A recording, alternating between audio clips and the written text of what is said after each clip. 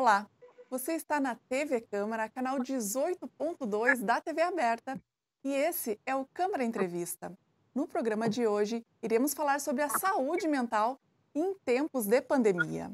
Para contribuir com esse assunto, vamos receber aqui hoje o psicanalista e coordenador do Santa Maria Colli, Valnei da Soler, e também a coordenadora municipal de saúde mental aqui de Santa Maria, a Cláudia Mello. Nesse primeiro bloco, vamos conversar com o psicanalista. Uh, Volney, obrigada por ter aceito o nosso convite, estar aqui hoje. Eu gostaria de começar falando sobre o tema da morte, né? Infelizmente, nós ultrapassamos a marca de 100 mil mortos no Brasil, né? Um número muito, muito triste. Uh, a questão que eu coloco para ti é se a morte ainda uh, é uma das, das dores, das, das questões que mais atormenta o ser humano? Ah, bom dia, Camila. Obrigado pelo convite. Me interessa muito estar aqui conversando com vocês, com a comunidade de Santa Maria. De fato, começar a discussão sobre saúde mental na pandemia, começar pelo tema da morte, já nos aponta assim essa relação eh, intricada entre a pandemia, o medo, a angústia e a morte. Uh, é uma relação que se estabelece desde o início, assim, uh, pelo temor do contágio e pela imprecisão ou pela falta de garantia de que até esse momento nós temos com relação à possibilidade de cura ou de prevenção. Uh, sem dúvida nenhuma, assim, alcançar esse número, ele nos deixa uh, assustados e, por outro lado, também tende a, se, a ser banalizado, naturalizado, justamente porque quando a gente fala de morte, a gente precisa é, dar nome, dar rosto, dar história às mortes. É, e num processo onde os números de morte tendem a se repetir diariamente, nós não conseguimos, do ponto de vista simbólico, cultural, não estamos conseguindo do ponto de vista simbólico, cultural, dar estatuto de, de vida e de história para essas pessoas. Então, ah, eu acredito que isso, por outro lado, revela também um, uma face da nossa contemporaneidade onde ah, se processa uma certa indiferença ao semelhante, né? Eh, de que ah, a morte, quando ela não nos atinge, ela não nos diz respeito.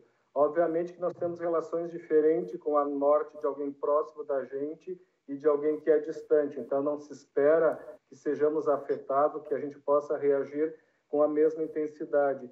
Entretanto, uh, mil mortes, ou 10 mil mortes, ou 50 mil mortes, deveria ter, de alguma forma, algum efeito, alguma problematização sobre a forma como nós, enquanto civilização, estamos lidando tanto com a pandemia do ponto de vista sanitário, mas também da memória e da inscrição desses efeitos subjetivos né, na, na, na cultura. E na clínica, nesse momento, quais são os temas que mais têm aparecido? Uh, bom, a gente pode falar da clínica tanto no âmbito privado quanto no âmbito da saúde pública. São os dois contextos onde eu, eu trabalho.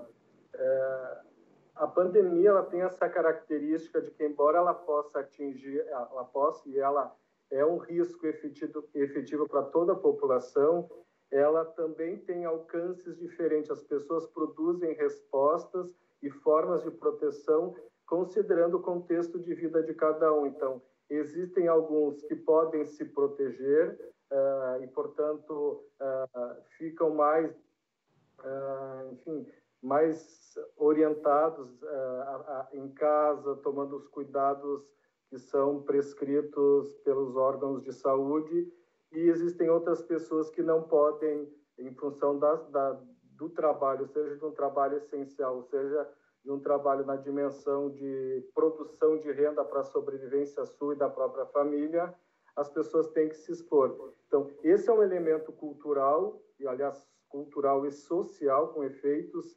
subjetivos. Uh, quando a pandemia começou, nós pensávamos que ela teria um certo ciclo de início, meio e fim, né? Começaria várias vezes nós assistimos a, a curva de que haveria uma ascensão, um platô e depois uma descendência. Essa garantia ou essa representação, esse desenho que nos foi feito de que a pandemia teria esse eh, essa forma na, na, fez com que nós então uh, renunciássemos a algum tipo de liberdade, aceitássemos algum tipo de sacrifício em, com a garantia de que então estaríamos protegidos posteriormente. Então, uh, a preocupação maior no início era de que poderia haver um boom, ou seja, uma explosão de casos, e aí sim nós poderíamos falar mais em termos de trauma, né, dessa erupção abrupta de algo inesperado. Entretanto, como a gente já vinha acompanhando a manifestação da pandemia no exterior, nós nos preparamos a isso tanto do ponto de vista psicológico quanto do ponto de vista, ao menos no primeiro momento, da saúde pública.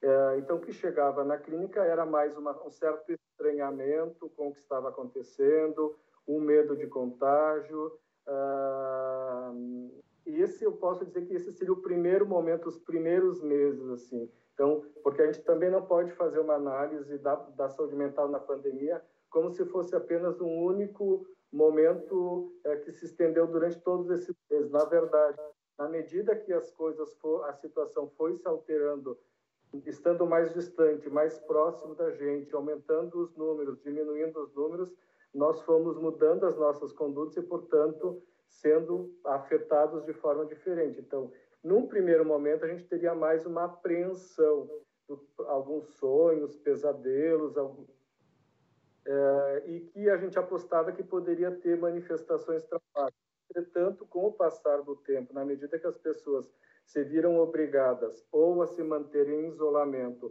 ou a tomar uma vida cotidiana, a gente vai observar mais situações próximas da, da ansiedade, da angústia, pela incerteza de quando esse, essa situação vai se resolver. Então, Acho que cada um de nós, ou todos nós, em algum momento, nos perguntamos quando que isso vai terminar, será que isso vai terminar?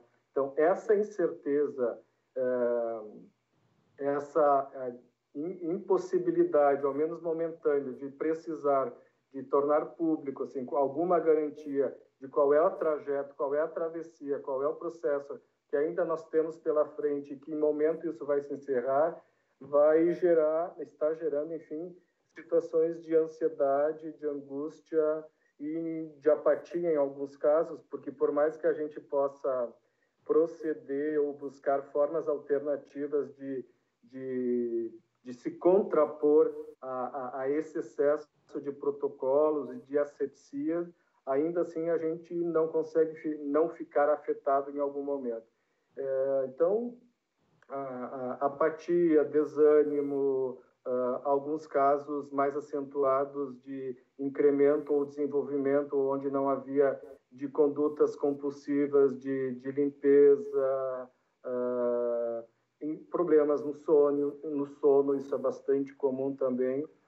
E, obviamente, que a gente, entre, entre o reconhecimento de um sintoma ou de um sofrimento e a confirmação de que isso é uma doença ou é uma patologia, há uma estabilidade desses sintomas que configuraria uma patologia, tem um longo caminho. O que a gente pode dizer neste momento é que sim, as pessoas, ou boa parte das pessoas, estão sofrendo impacto na sua mental, embora cada um à sua maneira também está tentando buscar alternativas para se contrapor a isso.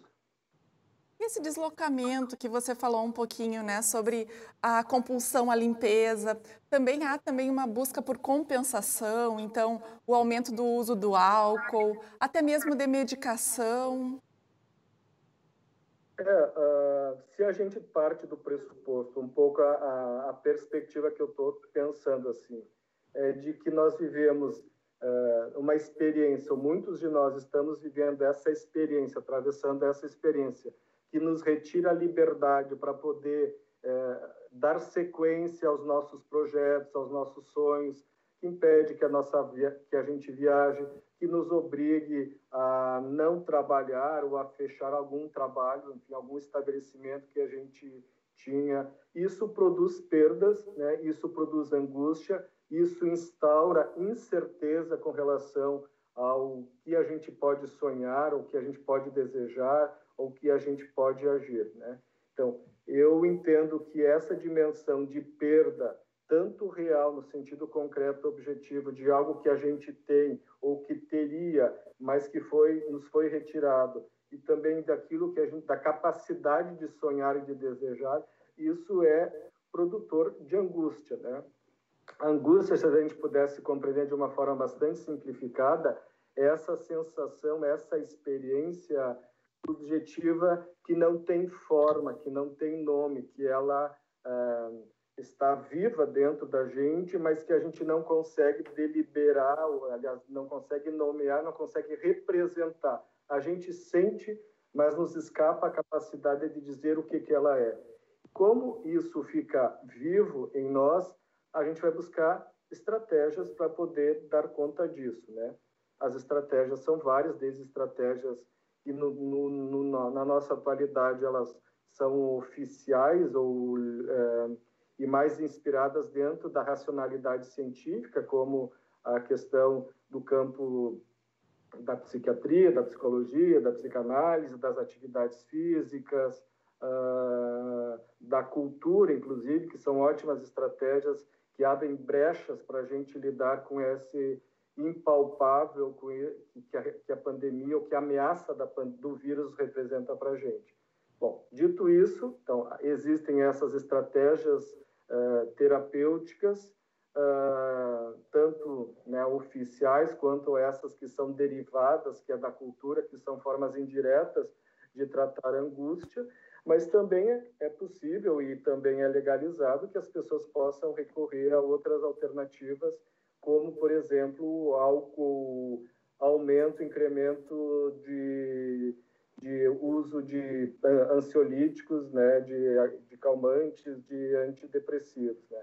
porque todos eles têm uh, um, um pouco o propósito, a busca, ela, ela é feita com o propósito de apaziguar, de, de amainar, de dar um, algum tipo de contorno a essa angústia que está entranhada. Porque, pouco essa ideia da pandemia, né, que eu compreendo, a pandemia, o vírus não enlouquece a gente. A pandemia e o vírus nos angustia.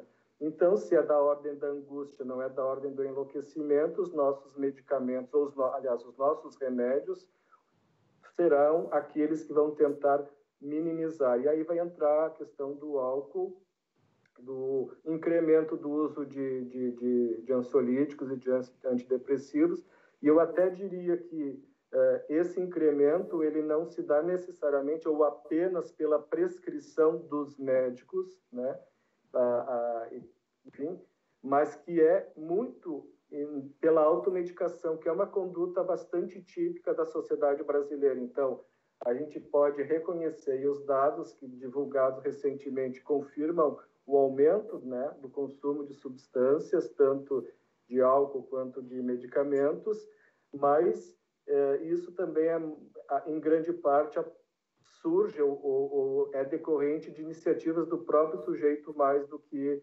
enfim, de uma indicação de um profissional.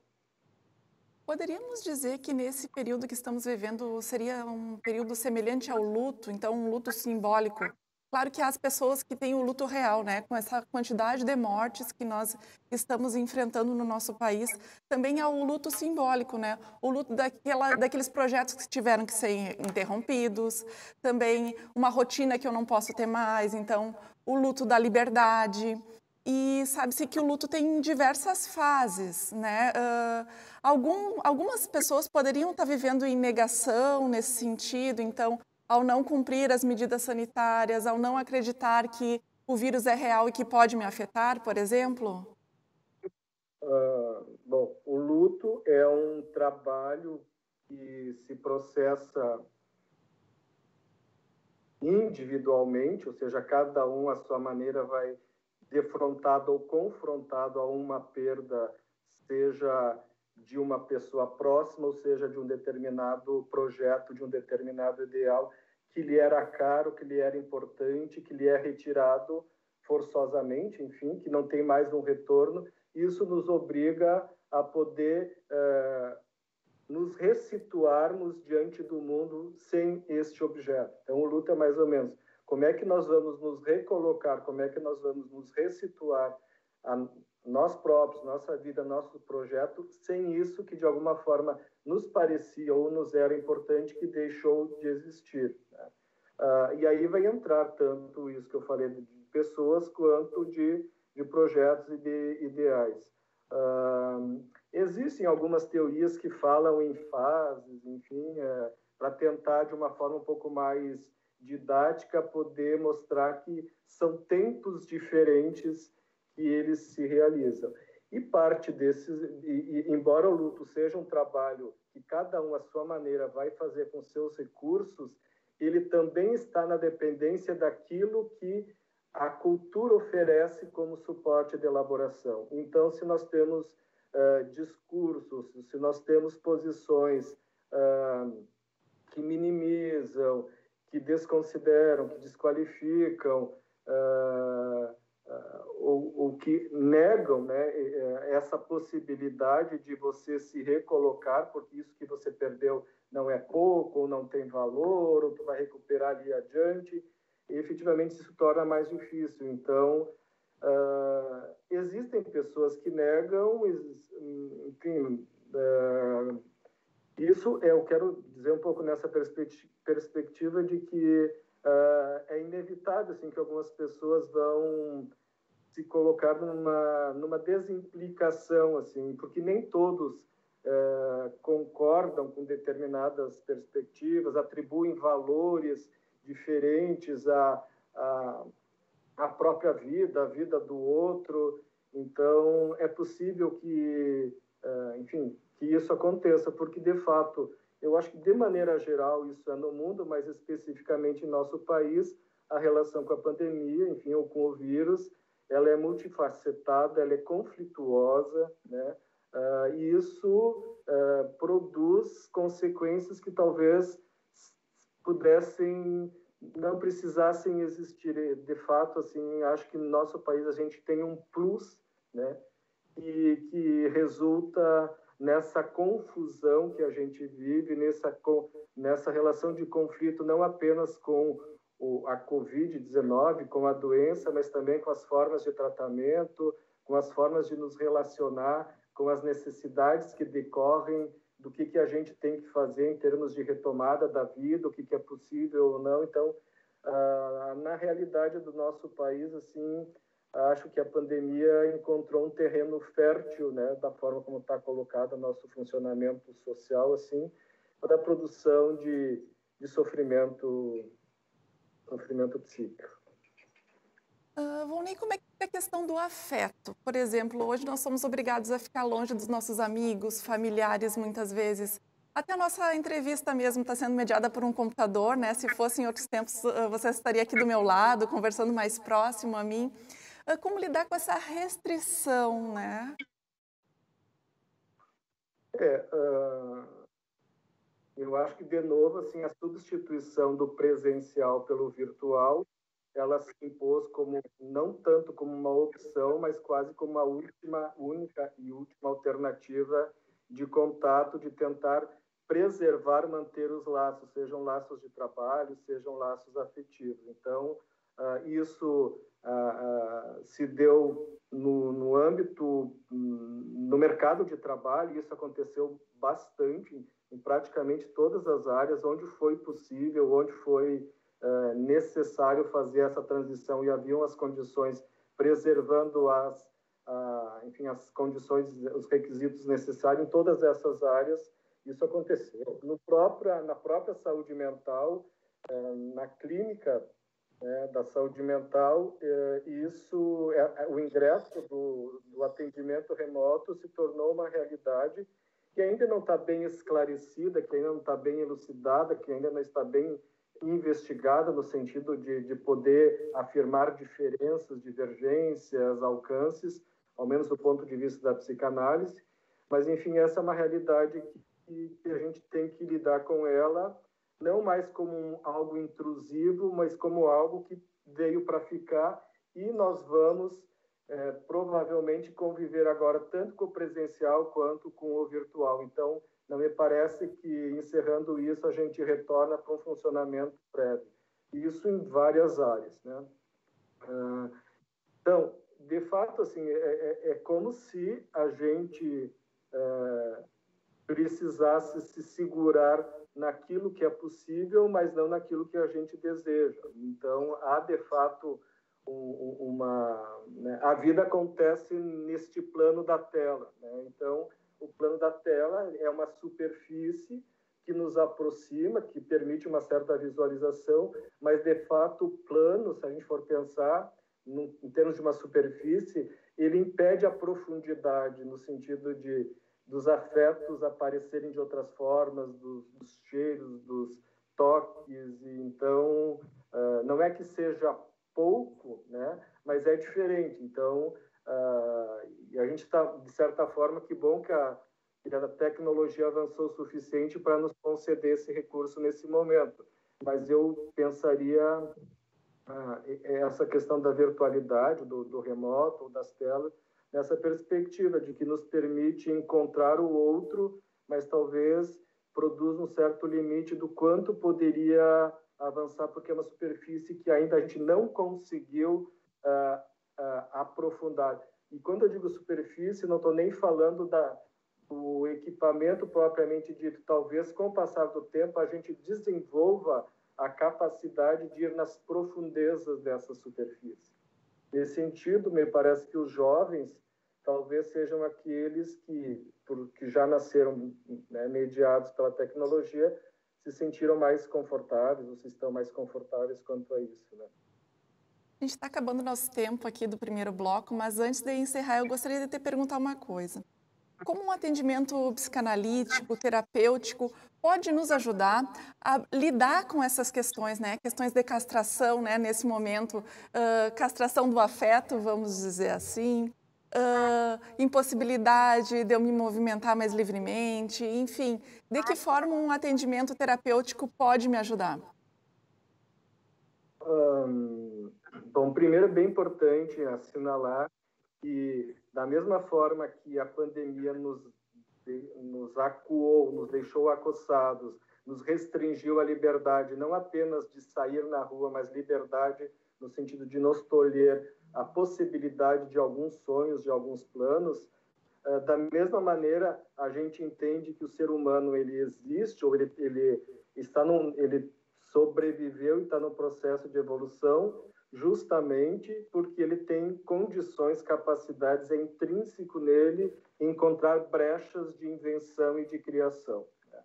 Então, e aí, uh, é, né, não deu deste jeito, a gente tenta fazer de uma outra forma. A vida, ela justamente uh, uh, vai nos empurrando a inventar coisas. Um, com relação ao atendimento psicológico, psicanalítico, enfim, essas terapias que têm a fala como o seu recurso terapêutico, seu instrumento de trabalho, é, é, a gente pode pensar o seguinte, assim, é, o sofrimento psíquico, de alguma maneira, ele revela, ele apresenta um sujeito que encontra um limite para compreender aquilo que está acontecendo com ele.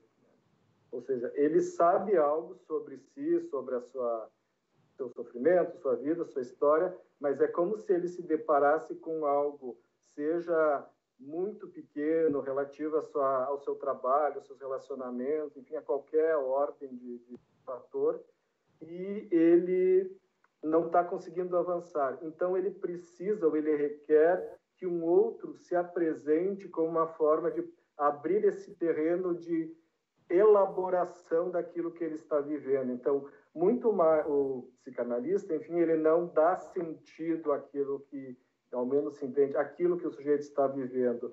Ele abre caminho para que o sujeito, a partir da sua narrativa, da sua experiência pessoal, na relação com aquilo que está no seu entorno, dos seus planos, das suas faltas, das suas perdas, possa eh, elaborar, ou seja, possa estabelecer alguma relação diferente com o seu sofrimento. Então, no caso da pandemia, isso é bastante importante porque é, introduz um semelhante, né, numa outra posição de diferença, obviamente, mas que é, vai poder é, suportar, porque o analista normalmente ele é um testemunha é testemunha que suporta aquilo que no outro está como insuportável e faz com que ele então possa entender as suas angústias, os seus medos e abrir as brechas para poder de alguma forma encontrar outras alternativas. Muito obrigada, Volney, pelos teus esclarecimentos e informações aqui para os telespectadores da TV Câmara. Obrigado. E fique conosco aqui no segundo bloco, falaremos como acessar um serviço de apoio à saúde mental aqui em Santa Maria. Até mais!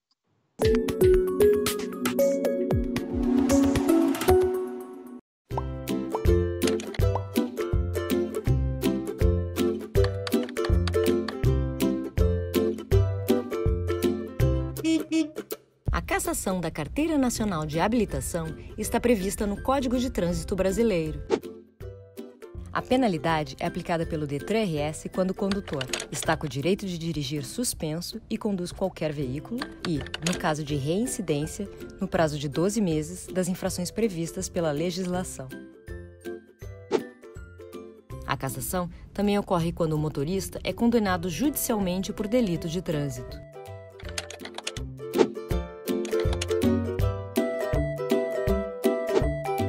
Detran RS vai instaurar um processo administrativo. O condutor é notificado pelos Correios com as informações para sua defesa por escrito, que pode ser encaminhada de volta pelo correio ou entregue pessoalmente nas unidades do Tudo Fácil em Porto Alegre. Após o julgamento, o condutor é notificado do resultado. Em caso de indeferimento, é imposta a penalidade. O condutor pode optar por recorrer da decisão se quiser. Caso prefira não exercer seu direito de recurso, deve procurar um CFC para iniciar o cumprimento da penalidade. Mas, quem opta por recorrer da decisão precisa seguir as orientações e os prazos contidos na notificação. Nesse caso, o documento de habilitação somente deverá ser entregue para cumprimento da penalidade após o resultado do julgamento. Se o recurso for indeferido, o condutor não tem mais alternativa e deve procurar um CFC para iniciar o cumprimento da penalidade. Decorridos dois anos da cassação da CNH, o condutor poderá requerer sua reabilitação, realizando o curso e a prova de reciclagem, além de todos os exames necessários à habilitação na mesma categoria que já tinha. Para saber mais, navegue pelo site do Detran RS.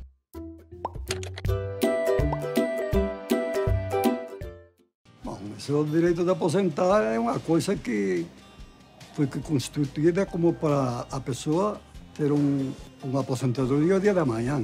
Trabalha a vida inteira para quê?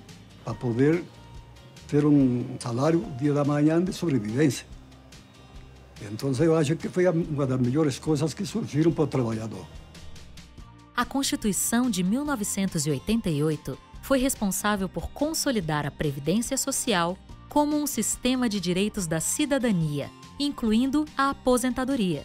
Aqui nós temos a aposentadoria, que pelo menos mal ou bem, até pessoa que não contribui chega aos 65 anos e aposenta, né? até como labrador ou por algum outro trabalho que o governo dá essa, esse benefício. Viu? Assim como Constante, você também faz parte da Constituição Cidadã. 30 anos de Constituição. A sua história também está aqui.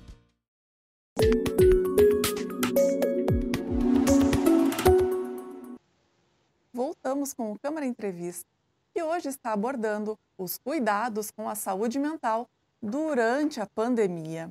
Nesse segundo bloco, iremos conversar com a coordenadora municipal de saúde mental, a Cláudia Mello.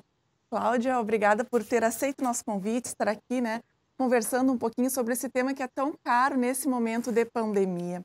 Eu queria te perguntar uh, como é que a prefeitura se organizou para atender a demanda. Nesse período, a demanda por um apoio psicológico, psiquiatra, um suporte à saúde mental aumentou?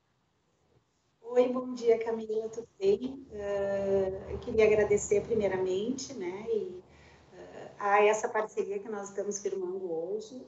E sim, nós, a, foi muito rápido né, para todos nós. Eu acho que hoje nós temos o secretário Guilherme né, Ribas, E desde o início já foi formado né, uma, uma equipe para cuidar especialmente da questão da Covid e da mesma forma nós, né, na saúde mental, nos organizamos para isso também. Uh, inicialmente, nós, nós, nós temos uma rede, né, que é a RAPS, chamamos de Rede de Atenção Psicossocial, que começa desde a atenção básica até urgência emergência, internação, enfim. Uh, é uma forma muito nova, né? Inicialmente nos preocupamos com isso, uh, de como seriam. Nós temos quatro CAPs em Santa Maria, que são Centro de Atenção Psicossocial, né? Temos um específico para transtorno, dois para dependência química e temos um que é um CAPSI e a característica desse serviço é exatamente um cuidado mais diário, né? A, a, as pessoas estão precisando, por, nós recebemos no serviço pessoas de média e alta complexidade, aquelas pessoas que não puderam ficar em outro tipo de cuidado e que precisam de um cuidado mais especializado, né, de uma equipe multiprofissional. E a nossa grande preocupação é porque nesse, nos serviços, nesse momento, uh, os atendimentos podem ser em grupo, os atend, uh, eles recebem alimento, alimentação, né, as refeições, para quem participa de um cuidado diário e, e intensivo, como a gente chama, pessoas que precisam permanecer por mais tempo no serviço. E de repente a pandemia chegou, né? E o que nós tínhamos de maior uh, uh, dentro do plano terapêutico, que seria esse cuidado, né? Mais intensivo, a pessoa presente no atendimento e mudou de repente, né? No primeiro decreto nós já tivemos que pensar em tirar os grupos dos serviços, né, em não oferecer mais as, as, as refeições, porque tudo que teria aglomeração, nós não poderíamos fazer mais. Então, uh, pensamos uh, como que a gente poderia fazer, né? Com todas as equipes, temos as policlínicas, até depois eu vou especificar para ti mais né, detalhadamente.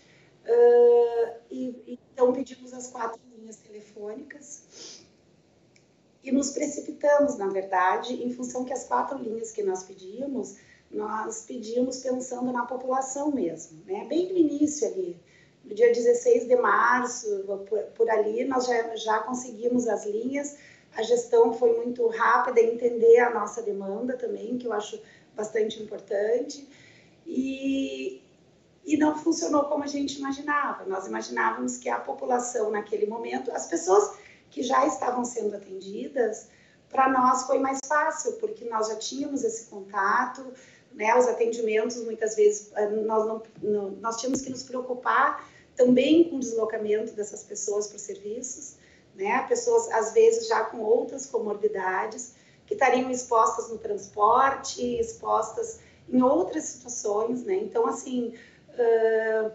ainda continuamos nos adaptando mas sim, desde o início pensamos nessa linha para eh, na população em geral. Nós pensamos que como que a gente acolheria, né, o, o acolhimento dessa população toda que nesse momento estava se deparando com um desconhecido, né, que seria um vírus, ele, tu não sabia como realmente lidar.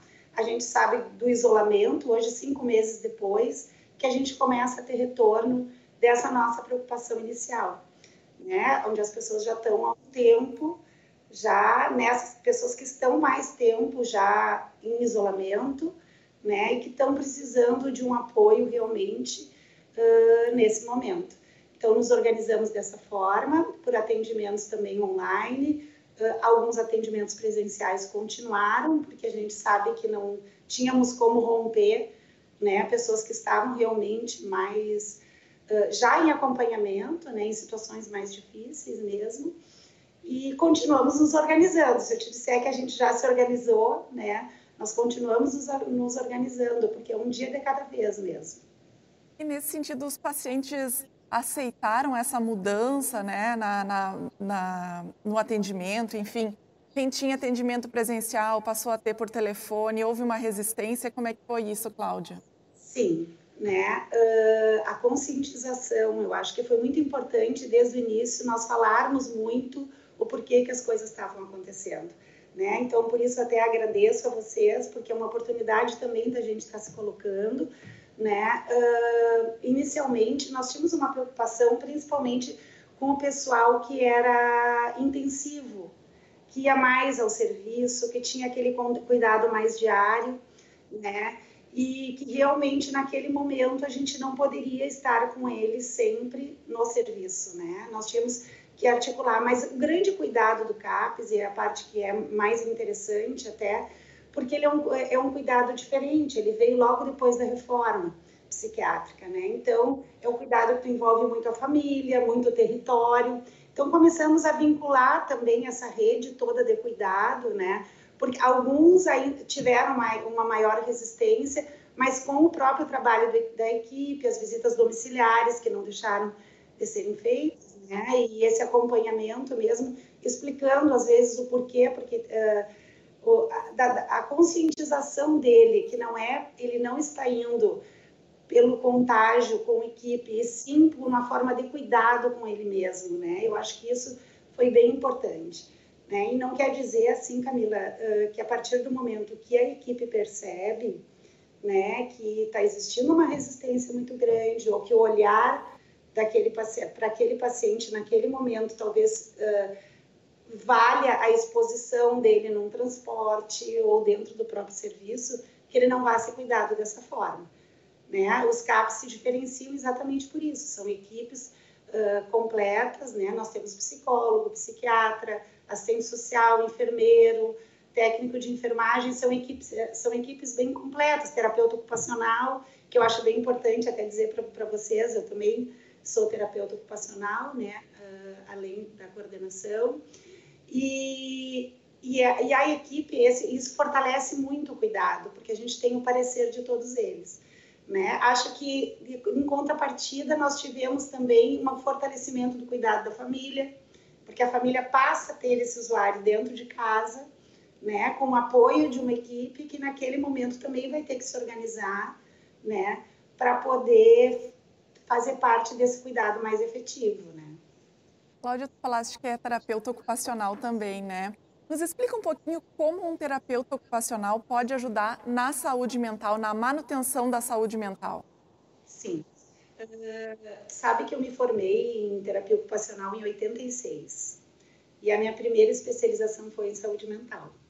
Uh, a terapia ocupacional ela cuida muito da parte da tua atividade diária, de todos os danos que tu pode ter, de todas as limitações que ela te traz, né? Especificamente em saúde mental, a gente retoma todas as rotinas, né? A gente sabe muitas vezes que a própria doença ou o próprio surto, naquele momento, limita, né? Então, essa retomada das atividades, né? O que, que nós podemos fazer além disso? O que, que eu gostaria de fazer? Como que eu posso ser mais independente? Né? A parte do próprio acompanhamento terapêutico, a gente fala, né? Em saúde mental, Camila, a, a, apesar de tu ter a tua especificidade da tua profissão, né, tu trabalha muito em as questões de vínculo e muito em equipe.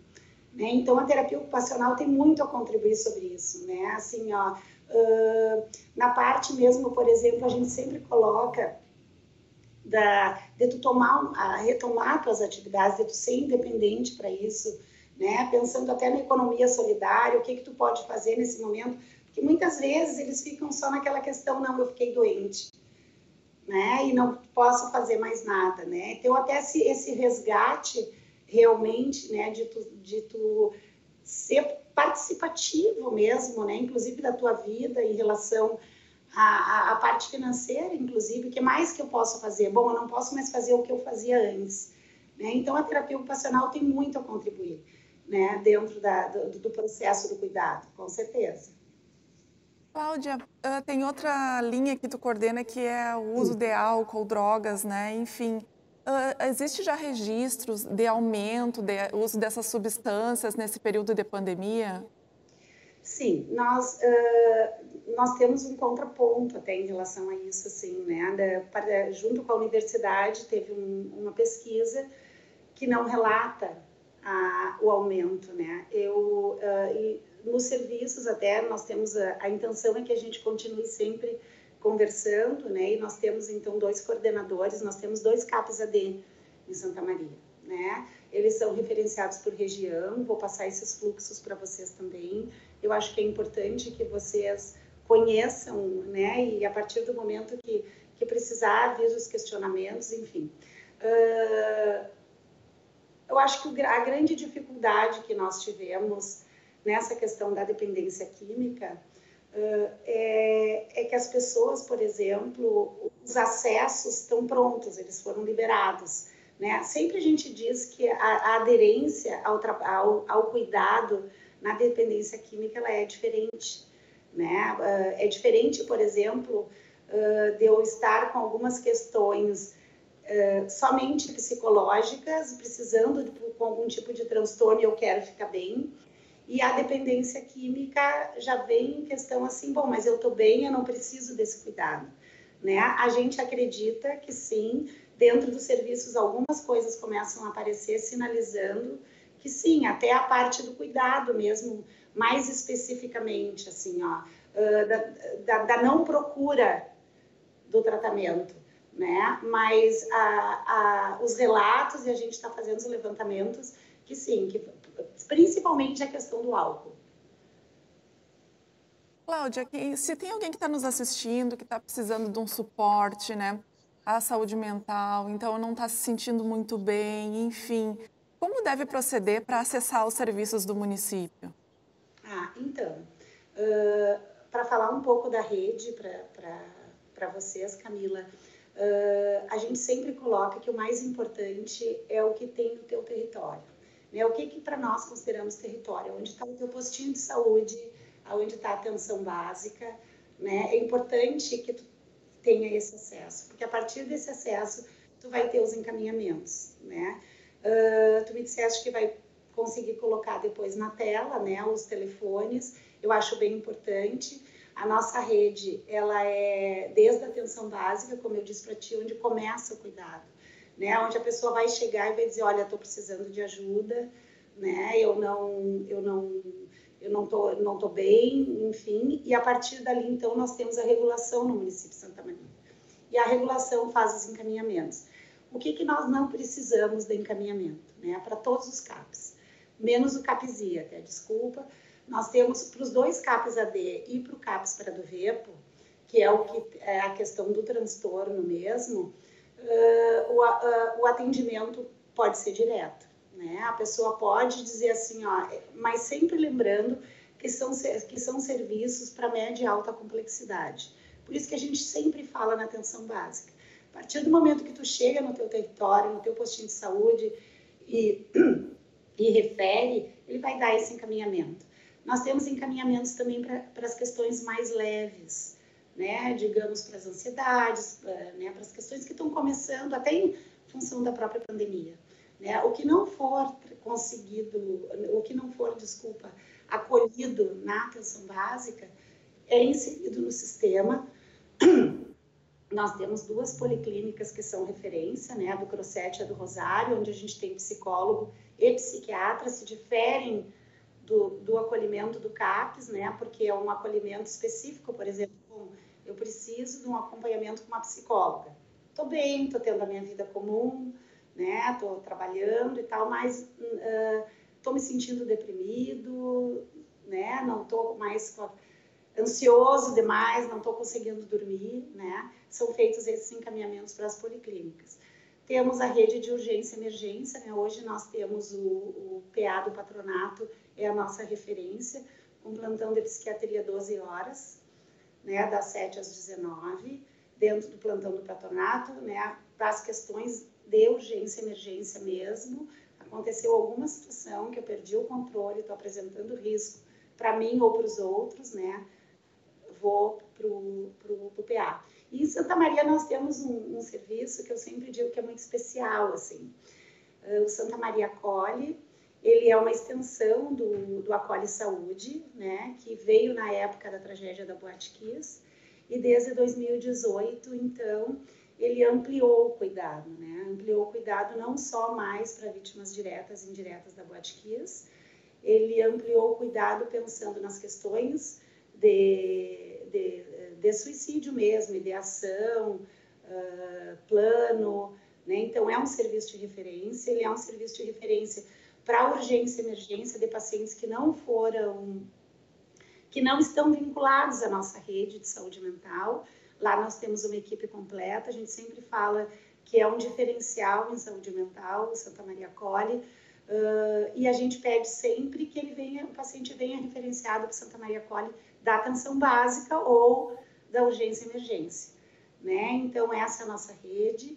Uh, a parte de internações que eu acho importante também falar, né? Às vezes as pessoas acreditam que assim, bom, eu estou precisando, eu vou internar, né? Nós, uh, toda a nossa internação é feita pelo Estado, Camila, assim, ó, nós, nós não temos, Santa Maria nós temos a Casa de Saúde, mas os leitos todos são, é o Estado que regula.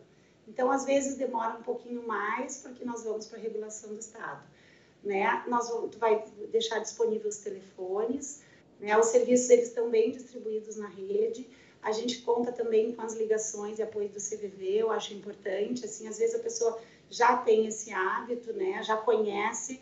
Eu sempre digo que o, o CVV já se tem essa proposta, né, da ligação. Né? Nós estamos começando nessa proposta, mas a importância é do acolhimento mesmo, né? Estamos à disposição tanto de vocês quanto da população uh, para essas questões, sim, da pandemia. Para um atendimento psicológico, tem um tempo de espera, uma fila de espera? Tem como estimar o tempo que a pessoa vai esperar para ser atendido? É, sim.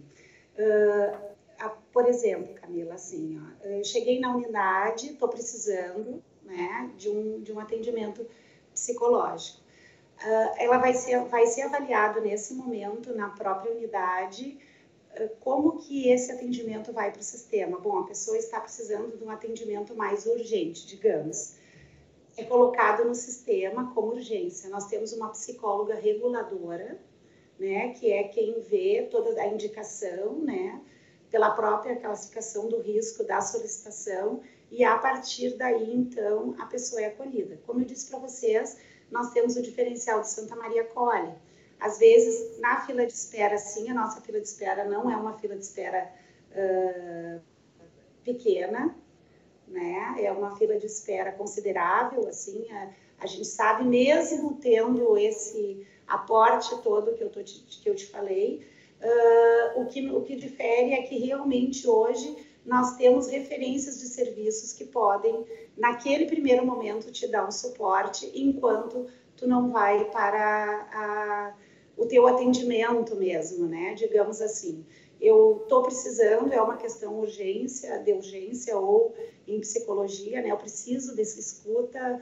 ele está precisando, se for o caso, Santa Maria acolhe nesse momento, faz esse primeiro acolhimento, né? E pode estar tá revendo esse paciente até ele conseguir a vaga dentro das policlínicas. Nesse momento, os atendimentos estão sendo exclusivamente pelo telefone ou tem atendimento presencial também? Sim, nós temos atendimento presencial. Inicialmente, como te disse, assim, nós somos nos adaptando, né? Mas os atendimentos, eles são presenciais, né? A gente sempre uh, colocamos a importância dos EPIs, né? Sempre do, do, do profissional, tanto o profissional quanto né, o usuário está protegido. Nos organizamos nos serviços exatamente isso, mas os atendimentos uh, presenciais permanecem, né? Uh, nas questões dos atendimentos por telefone, por exemplo, eu não sou vinculada a nenhum serviço, não estou bem, estou em casa, faço uma ligação, né? E o profissional que te acolher do outro lado, ele vai te dar esse direcionamento. Se tu precisa, né? Eu posso te escutar hoje por telefone, te escutar amanhã e dizer não, eu preciso te ver realmente né, pelo que tu está colocando e pela, pela forma como a gente está conduzindo, no caso, né, o nosso atendimento. Então, uh, é como eu disse para ti, eu acho que todos nós estamos aprendendo. A saúde mental sempre foi muito próxima, Camila, assim, do paciente. Né? A gente sempre foi, o acolhimento sempre foi tudo muito olho no olho, onde tu, tu observa várias questões, inclusive físicas, dizer a posição das mãos, a, né? Tudo isso são dados para tu cuidar. Né? A pessoa está dizendo que uma coisa não está acontecendo, mas tu percebe a ansiedade através do movimento. Do... O telefone não te dá isso. Né? Então, uh, a partir do momento que o profissional que está do outro lado da linha percebe a necessidade, sim, do acolhimento presencial, com certeza. né, nós estamos atendendo sim. Uh, Cláudia, a gente está quase no final do programa, mas eu queria só fazer uma pergunta bem básica. Quem deve procurar o atendimento psicológico, psiquiatra, enfim, esse suporte para a saúde mental, né? Uh, o que, que tu diria para quem está nos assistindo? Quando procurar e como, de novo? Só para resumir o nosso programa aqui. Sim, sim.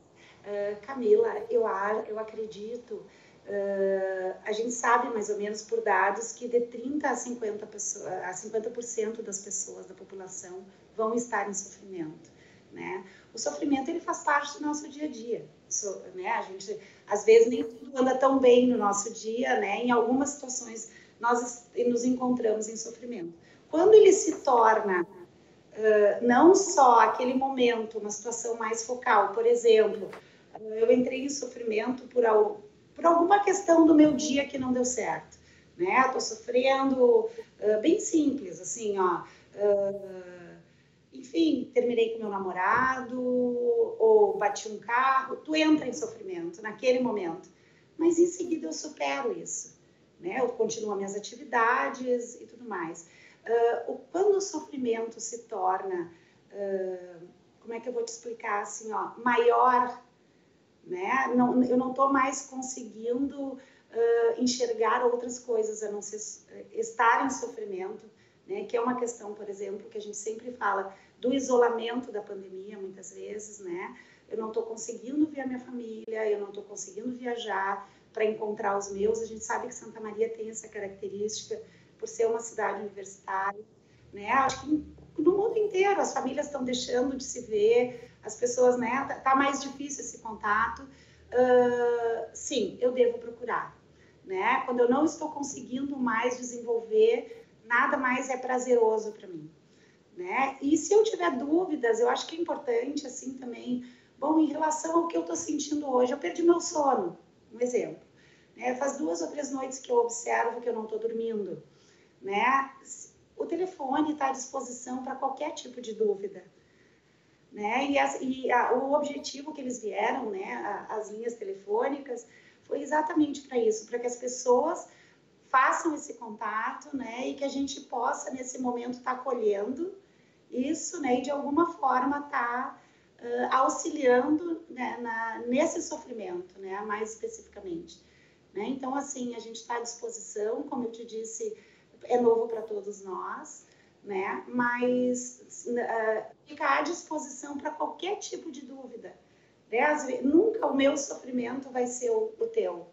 Né? O meu é meu, ele, ele é importante porque ele é meu né? Uh, se eu tenho, se isso está me incomodando, eu posso procurar. O familiar pode procurar.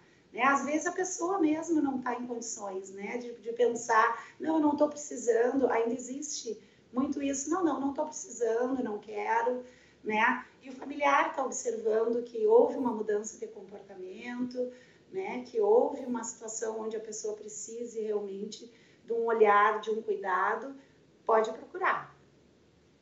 E o caminho é pelos postos de saúde, né? Pelos postos de saúde, uh, os CAPs, tanto para do Vepo como os dois ADs, uh, uh, podem ser procurados, inclusive presencialmente. Tu vai disponibilizar os telefones. É interessante hoje para a gente não ter aquele acúmulo de pessoas em sala de espera. As pessoas podem ligar, né? Vai ser acolhido para chegar, e, mas a referência sempre é o território. A gente fala da importância porque é ali que vai acontecer o cuidado, né? É mais próximo à minha casa, né? E esse profissional, então, da, da, da ESF, do, das unidades básicas, né? Vão conseguir fazer esse melhor encaminhamento para o serviço especializado. Muito obrigada, Cláudia, por estar aqui conosco hoje aqui no Câmara Entrevista, viu? Obrigada pelas informações. Eu que agradeço, agradeço a todos vocês, a equipe que me acolheu muito. Eu, é mais uma forma de, de, de, de estar de forma diferente, né? Uh, falando para todos, assim. Uh, então, muito obrigado mesmo. Agradeço ao pessoal que está junto contigo, que também foi muito acolhedor comigo. Um beijo em vocês, um bom dia. Bom dia, beijo, Cláudia. E a você, obrigada pela sua audiência. Lembrando que você pode rever esse programa no nosso canal do YouTube, que é o TV Câmara Santa Maria. Continue acompanhando a nossa programação. TV Câmara, a tela da cidadania.